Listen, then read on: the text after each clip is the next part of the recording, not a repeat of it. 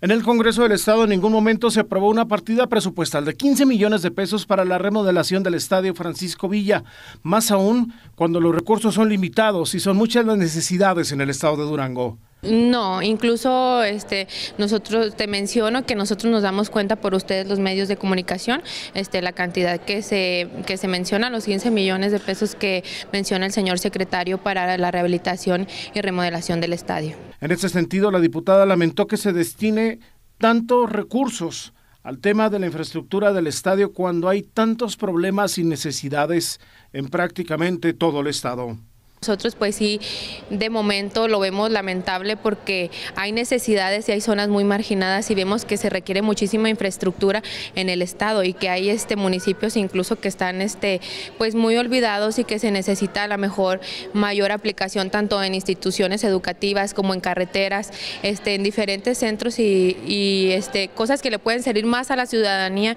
y que yo creo que mm, son más necesarias para los para el pueblo duranguense.